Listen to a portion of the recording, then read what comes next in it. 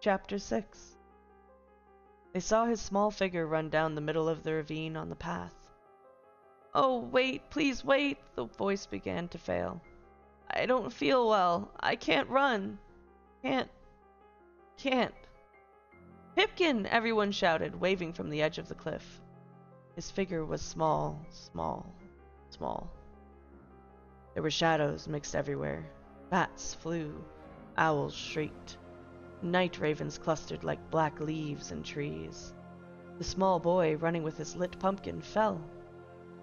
Oh, gasped Moon Shroud. The pumpkin light went out. Oh, gasped everyone.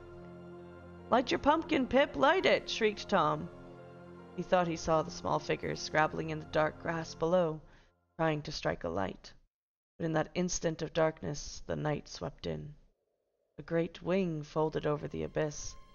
Many owls hooted. Many mice scampered and slithered in the shadows. A, a million tiny murders happened somewhere. Light your pumpkin, Pip! Help! wailed his sad voice.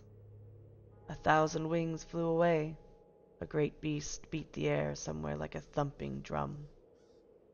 The clouds, like gauzy scenes, were pulled away to set a clean sky. The moon was there, a great eye. It looked down upon an empty path. Pipkin nowhere to be seen.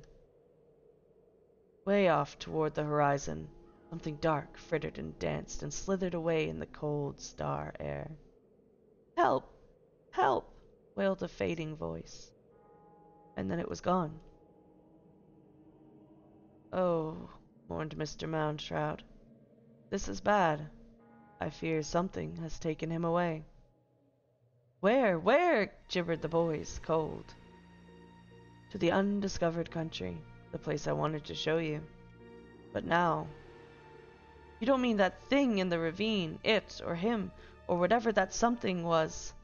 Death? Did he grab Pipkin? And run? Borrowed is more like it. Perhaps to hold him for ransom, said Moundshroud. Can death do that? Sometimes, yes. Oh gosh, Tom felt his eyes water. Pip, tonight, running slow, so pale. Pip, you shouldn't have come out! He shouted at the sky. But there was only wind there, and white clouds floating like old spirit fluff, and a clear river of wind. They stood, cold and shivering. They looked off to where the dark something had stolen their friend. So, said Moundshroud, all the more reason for you to come along, lads.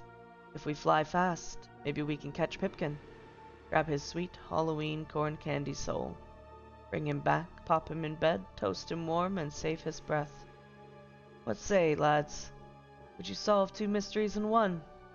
Search and seek for the lost Pipkin, and solve Halloween, all in one fell dark blow. They thought of All Hallows Night, and the billion ghosts a-wandering the lonely lanes in cold winds and strange smokes. They thought of Pipkin, no more than a thimbleful of boy and sheer summer delight, torn out like a tooth and carried off on a black tide of web and horn and black soot. And almost as one, they murmured, Yes. Moundshroud Shroud sprang. He ran, he pummeled, he pushed, he raved. Quick now, along this path, up this rise, and along this road, the abandoned farm, over the fence. Alley-oop! They leaped the fence, running, and stood by a barn that was frosted over with old circus posters, with banners tattered by the wind, pasted here thirty, forty, fifty years back.